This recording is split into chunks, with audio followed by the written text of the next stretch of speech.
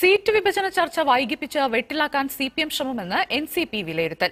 മുഖ്യമന്ത്രിയുടെ കൂടിക്കാഴ്ച മെല്ലെപ്പോക്കിനുള്ള തന്ത്രമാണെന്ന് മനസ്സിലാക്കി കേന്ദ്ര നേതൃത്വത്തിന്റെ സന്ദർശനത്തിന് കാക്കുകയാണ് സംസ്ഥാന നേതൃത്വം.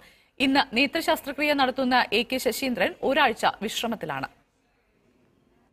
മുഖ്യമന്ത്രി വിളിച്ച യോഗത്തിലും പാലാ സീറ്റിന്റെ കാര്യത്തിൽ ഉറപ്പു നൽകാത്തതോടെ നടക്കുന്ന ചർച്ചകൾ സി പി എമ്മിന് തന്ത്രമാണെന്നാണ് എൻ സി പി വിലയിരുത്തൽ.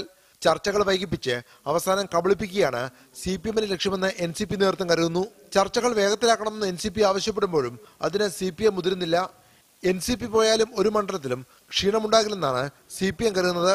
ടി പി പീതാംബരനെ ഇടുക്കിയിൽ നിന്ന് വിളിച്ചു വരുത്തിയിട്ടും മുഖ്യമന്ത്രി ഒരു ഉറപ്പ് നൽകാത്തതിൽ എൻ സി പിക്ക് കടുത്ത അമർഷമുണ്ട്.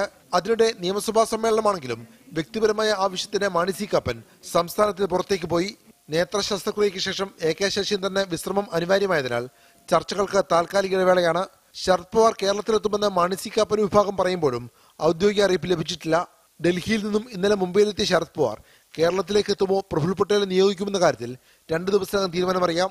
പാലാ സീറ്റ് നൽകാനാവില്ലെന്ന് മുഖ്യമന്ത്രി ഇന്നലെ പറഞ്ഞിരുന്നെങ്കിൽ ഇന്നലെ തന്നെ മുന്നണി വിടുന്നത് പ്രഖ്യാപിക്കാനായിരുന്നു മാണിസി കാപ്പൻ വിഭാഗത്തിന്റെ ആലോചന.